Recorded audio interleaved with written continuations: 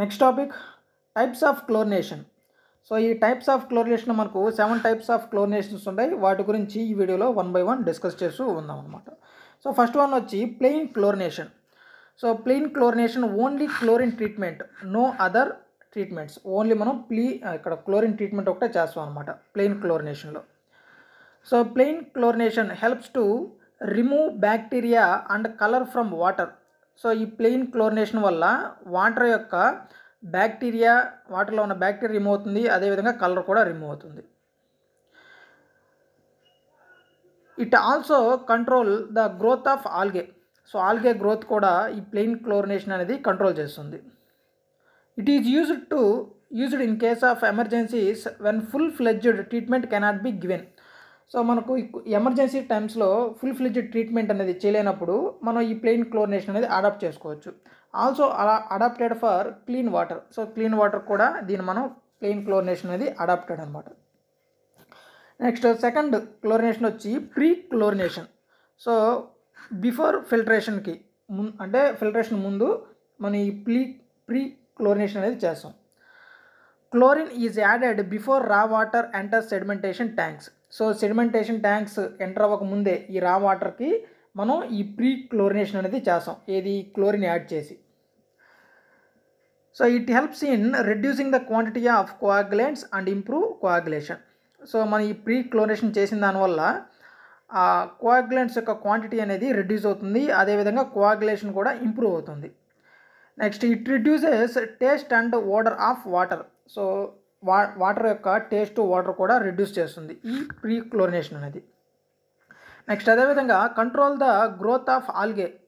So algae యొక్క growth rate కూడా control చేస్తుంది ఈ pre chlorination it reduces the bacterial load of filters. So filter మీద filters మీద బ్యాక్టీరియల్ లోడ్ కూడా ఇది రెడ్యూస్ చేస్తుంది pre chlorination next third one వచ్చి పోస్ట్ క్లోరినేషన్.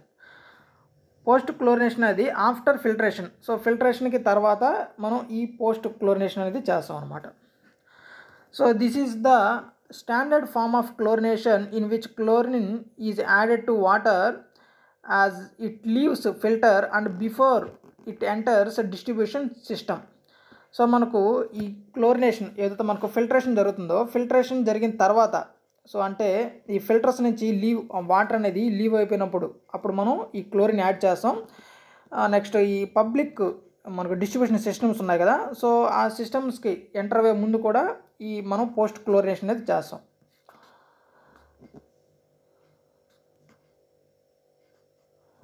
నెక్స్ట్ ఇక్కడ రెసిడ్యూల్ వచ్చి zero point one to zero point two milligram per litre ఉండేటట్టు చూసుకుంటాం. క్లోరిన్ యొక్క రెసిడ్యూల్ వచ్చి zero point one to zero point two milligram per litre. Next third chlorination వచ్చి double chlorination. So ఈ double క్లోరినేషన్లో మనకు before and after filtration. So ఫిల్టరేషన్కి before next అదేవిధంగా after కూడా మనం ఈ క్లోరినేషన్ చేస్తే దాన్ని మనం డబుల్ క్లోరినేషన్ అంటాం. ఓకేనా?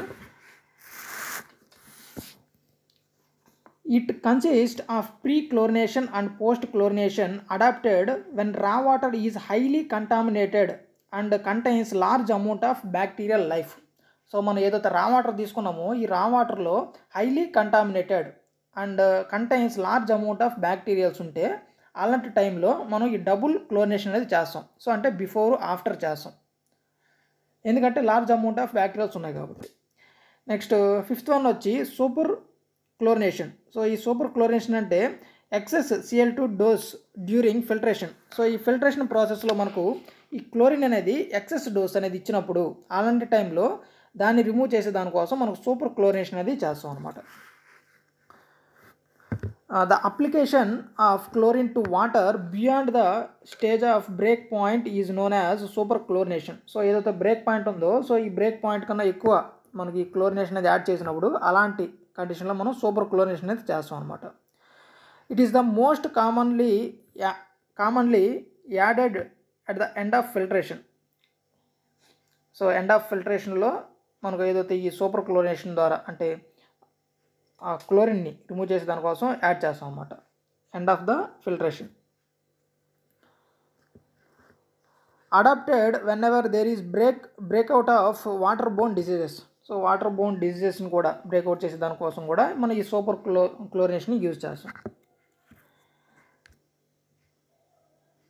నెక్స్ట్ సిక్స్త్ వన్ వచ్చి dechlorination so dechlorinated by sodium thiosulphate. Removal of excess C L two so ఇది కూడా అంతే సిఎల్ టూ ఏదైతే క్లోరిన్ అనేది ఎక్సెస్ ఉంటుందో సో దాన్ని రిమూవ్ చేసే దానికోసం ఈ డీక్లోరినేషన్ యూజ్ చేస్తాం. సోడియం థయోసల్ఫేట్ని యూజ్ చేసి. నెక్స్ట్ ఫైనల్ వన్ వచ్చి బ్రేక్ పాయింట్ క్లోరినేషన్ సో ఈ బ్రేక్ పాయింట్ క్లోరినేషన్ అనేది వెరీ వెరీ ఇంపార్టెంట్ టాపిక్ అనమాట సో దీని గురించి నెక్స్ట్ వీడియోలో డీటెయిల్గా ఈ బ్రేక్ పాయింట్ క్లోరినేషన్ గురించి డీటెయిల్గా డిస్కస్ చేస్తాం. కానీ ఈ వీడియోలో ఈ బ్రేక్ బ్రేక్ పాయింట్ క్లోరినేషన్ గురించి కొన్ని ఇంపార్టెంట్ పాయింట్స్ అయితే ఇక్కడ డిస్కస్ చేస్తాం. Break point chlorination gives a gives an idea of chlorine to be added to water so as ensure the desire amount of residual chlorine so ఎంత అయితే మనకు chlorine అనేది ఆ వాటర్కి యాడ్ చేయాలో సో దాని గురించి ఈ బ్రేక్ బ్రేక్ పాయింట్ క్లోరినేషన్ అనేది ఒక ఒక రఫ్ ఐడియా అనేది ఇస్తుంది అనమాట క్లోరిన్ మనం ఎంత యాడ్ చేయాలి అనే దానికోసం బ్రేక్ పాయింట్ క్లోరినేషన్ యూజ్ చేస్తాం. సో ఇది టైప్స్ ఆఫ్ క్లోరినేషన్ గురించి. Okay guys if like this video please like my video and don't forget subscribe to my channel. Okay guys thank for watching.